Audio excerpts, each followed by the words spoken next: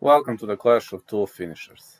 David Light, 1900, 12 KOs, gonna meet Brandon Glanton. 1700, 14 KOs. Brandon Glanton is a guy who knocks out everybody along the way, 5 foot 11, 79 inches of reach. One of the most entertaining guys to watch.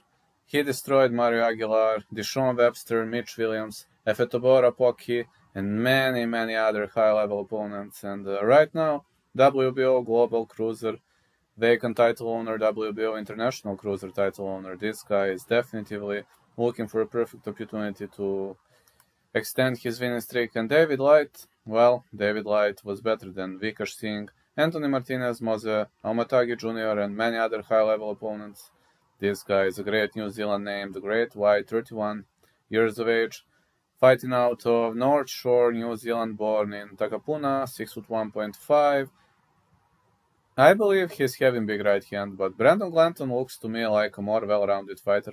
I'm gonna say no distance, I believe somebody's gonna get floored here. Both of these guys are having big knockout power. David Light is the former WBO International Cruiser and WBO Oriental Cruiser champ. And uh, I don't believe somebody gonna get floored. My fight, my prediction for this fight, not going the distance. If I must pick a side, Brandon Glanton to win.